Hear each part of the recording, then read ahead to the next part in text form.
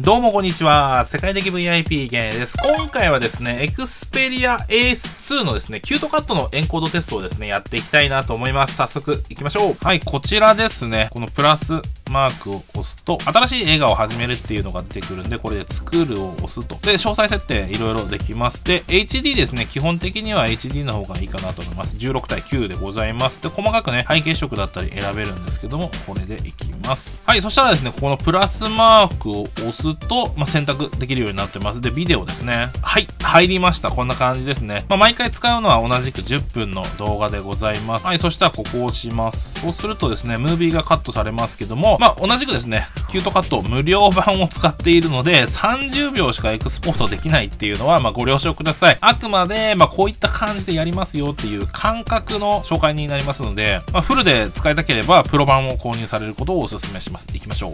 画質はですね、もちろん高品質になります。では、早速やりましょうか。いきます。よーい、スタートはい、こんな感じでですね、エクスポートしていくんですけども、当然ながら30秒しか書き出せないんで、早いと思いますよ。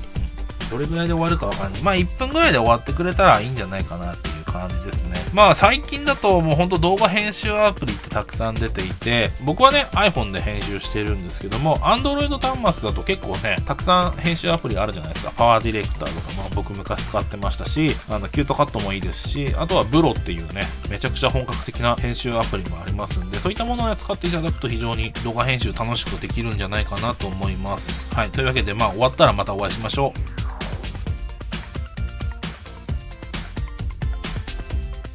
うわー、ちょっと残念だなっていう感じですね。1分超えちゃいますね。1分23秒12ということなんでございますけども、まあね、古い端末なんでそこまで期待はしてないし、まあみんな持ってないだろうし、使う人も少ない、いないのかなっていう感じには思うんですけども、まあこういった感じでですね、エンコードテストとか、まあ記録に残したいなっていう思いでやってますんで、まあ何かのね、参考になれば非常に嬉しいかなという感じに思います。というわけで今回はですね、Xperia S2 のキュートカットのエンコードテストやってみました。参考になります。幸いです。お疲れ様でした。